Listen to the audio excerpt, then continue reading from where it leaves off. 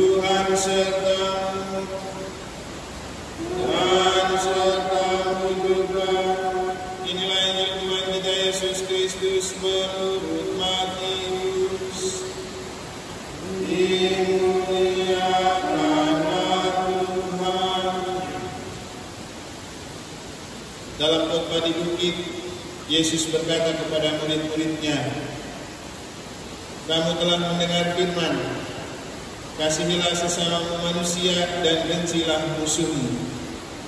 Tetapi aku berkata kepadamu, kasihilah musuh-musuhmu dan berdoalah bagi mereka yang menganiaya kamu. Karena dengan demikian kamu menjadi anak-anak Bapamu yang di surga. Sebab ia membuat mataharinya terbit bagi orang yang jahat dan bagi orang yang baik pula Hujan pun diturunkannya bagi orang yang benar dan juga orang yang tidak benar. Apabila kamu mengasihi orang yang mengasihi kamu, apakah bahu? Bukankah kamu cukai juga berbuat demikian? Dan apabila kamu hanya memberi salam kepada saudara-saudaramu saja, apakah lebihnya daripada perbuatan orang lain? Bukankah orang yang tidak mengenal Allah pun berbuat demikian? Karena itu haruslah kamu sempurna sebagaimana Bapamu yang di surga sempurna adanya.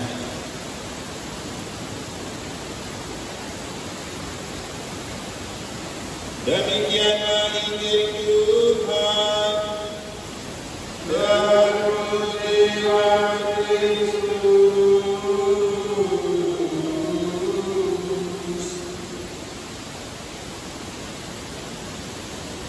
saudara, Bapak Ibu Saudara-saudari, umat beriman sekalian yang saya kasihi dalam Tuhan.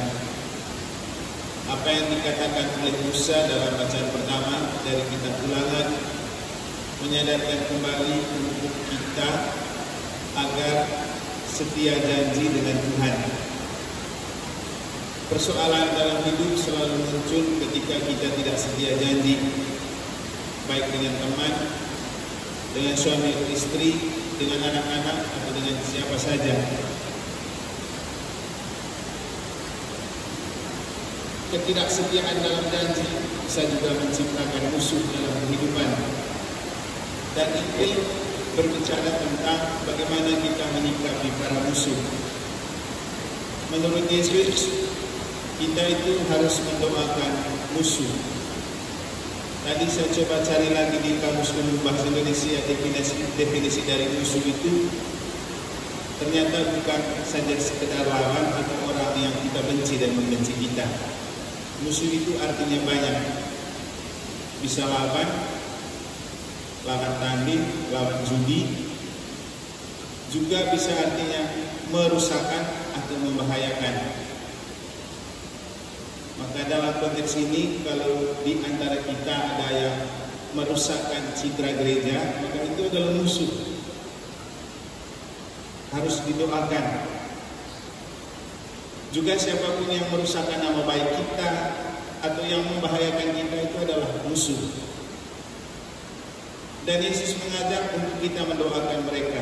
Dan menurut saya, Yesus itu sangat mengerti psikologi manusia atau sangat paham tentang masalah perasaan.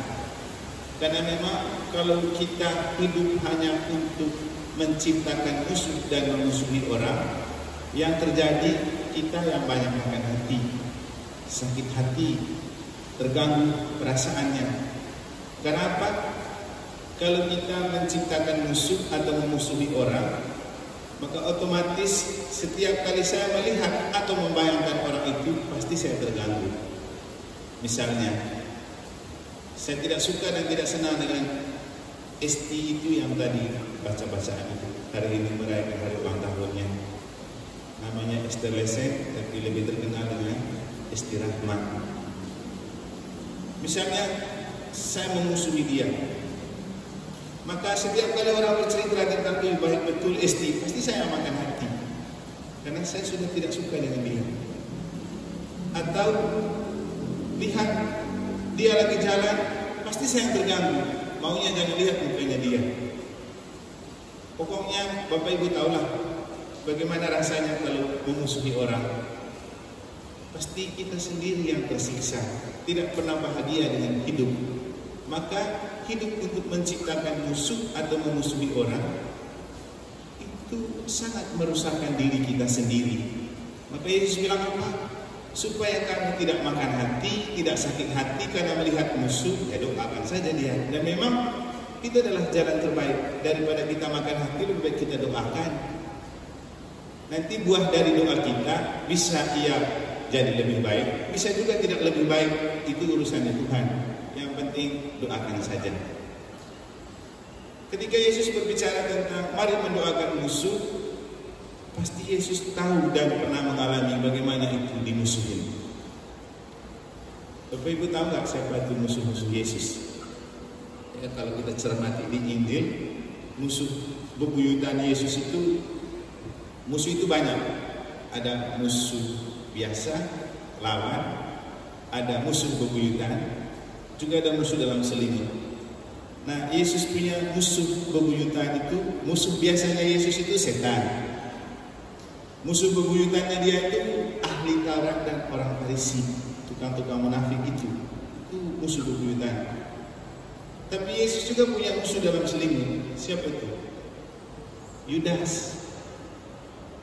Dan kalau kita lihat atau refleksikan dari pengalaman kita dan juga dari pengalaman Yesus, rasanya yang paling susah dihadapi adalah musuh dalam selimut. Yesus itu enteng menghadapi setan. Dia juga tidak takut dan tidak gentar menghadapi orang Farisi dan ahli Taurat. Malahan dia kencang terus mereka, dia berani. Walaupun mereka ada rencana untuk menangkap dan membunuh dia tidak pernah bisa dapat. Bahkan mereka mau lempar dia di jurang tidak bisa. Tapi hanya ada satu orang yang bisa menangkap Yesus yaitu musuh dalam selimut yakni Yudas. Bapak Ibu hidup di keluarga, keluarga besar, hidup di KBG, hidup di lingkungan, hidup di paroki paling sulit adalah menghadapi musuh dalam selimut. Musuh dalam selimut adalah orang yang selalu berada bersama kita. Muka manis di depan kita. Tampak sangat baik di depan kita. Tapi hati-hati di belakang Anda dia sangat berbahaya. Orang seperti ini susah kita hadapi. Juga kita mendoakan masalahnya dia bukan musuh, dia teman kita. Tapi diam-diam di belakang dia akan berlaku seperti Yudas. Ingat, Yesus bisa ditangkap karena musuh dalam selimut yaitu Yudas. Gereja kita pun bisa akan tercemar dan rusak karena kalau ada musuh dalam selimut yaitu Yudas Yudas baru. Tapi tugas kita adalah mendoakan mereka karena begitu pesan Yesus. Semoga Tuhan memberkati.